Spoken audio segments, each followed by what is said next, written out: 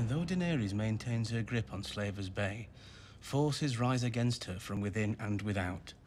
She refuses to leave until the freedom of the former slaves is secure. She sounds like quite a woman. And she's alone, under siege.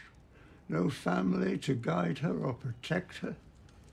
A last relation thousands of miles away. Useless. Dying.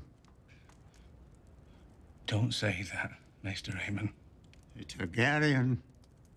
Alone in the world. It's a terrible thing.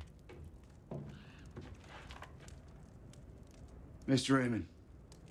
Lord Commander. Sam, I'd like to speak to the Maester alone.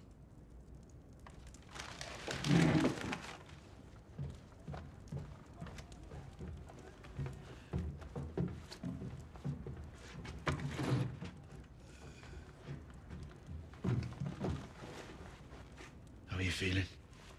Oh, like a hundred-year-old man slowly freezing to death.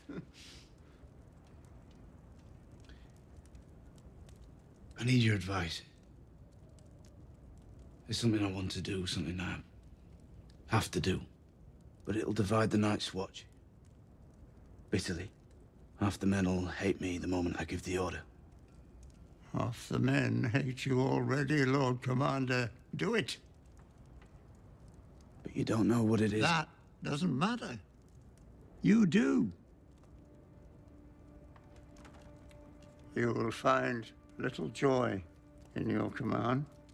But with luck, you will find the strength to do what needs to be done. Kill the boy, Jon Snow. Winter is almost upon us. Kill the boy. And let the man be born.